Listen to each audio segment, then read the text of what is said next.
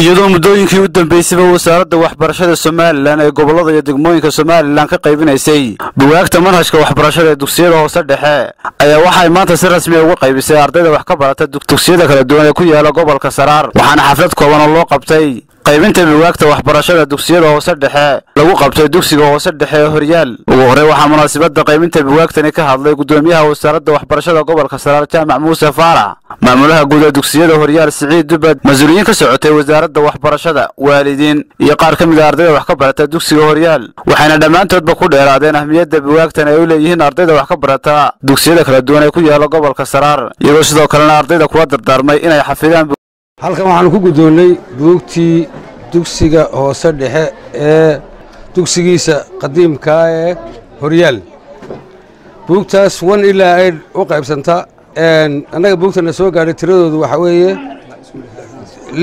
halkaa iskuul lix kun sagaal boqol toddobaatan iyo sagaal. Buug waannu siin doonnaa ardada. Buugtaana magaceeda la yaho hooy oo hay. Waxaan uga mahad celinaynaa ugu horreeyo madaxweynaha jamhuuriyadda somalilan muuse biixi cabdi wasiirka waxbarashada agaasimaha guud. Horyaal caynaba ku yaalla. Waxaa maanta halkan nagu soo gaadhay oo ay wasaaradda xarunta dhexe wasaaradda waxbarashaduna soo gaadhsiisay buugtii dugsiga dhexe one ilaa aid ee manhajka oo ka kooban toddobadii maadoba ay halkan ku dhan yihiin.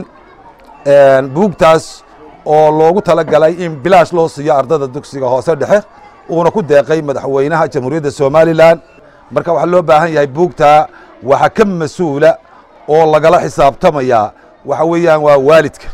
Maanta halkan waxaan idinku qaybinaynaa ardayda dugsigiina dhigata waa sagaal boqol iyo toddobiyo sagaashan arday.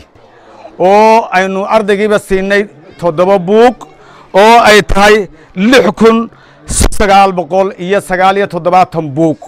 Ayaan maanta idinku wareejinay. Markaad arkaysaa inuu dowladdani aad u danaynayso siiba madaxweynuhu waxbarashada.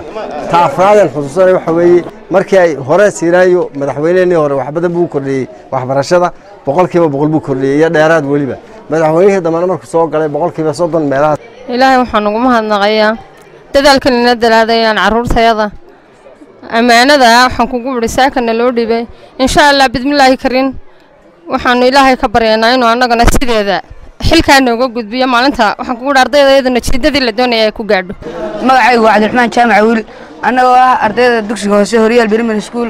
Waxaan ka hadlaya annagoo haysan buugta maxaan talay brimariga aan laga soo furtay madaxweynaha jamhuuriyadda somalilan muuse biixi aan dhaqaalena haysan buugtan aan ku iibsanno haddeer waxaan u mahad celinayaa madaxweynaha jamhuuriyadda somalilan muuse biixi cabdi.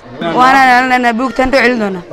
Waxaan ku adkaynayaa uun madaxweynaha jamhuuriyadda somalilan madaxweyneheennu buugaagtan uu inoogu deeqay wuxuu ku tayanayaa waxbarashada carruurteenna waxaa la doonayaa innaguna inaynu harinta ka taagnaanno wixii uu madaxweynuhu doonayay inuu ardayda u kordhiyo inay xaggeennana ka kordhaan.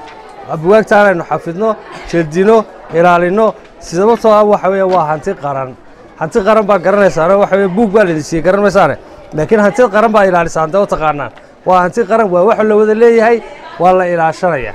Sababtoo ah ardaydaa maanta la guddoonsiiyey arday kalaa ka dambayn doonta oo sugaysa. Bugaagtani salabaan cilmi siciid salabaan kiiko wararka ariel t v magaalada caynaba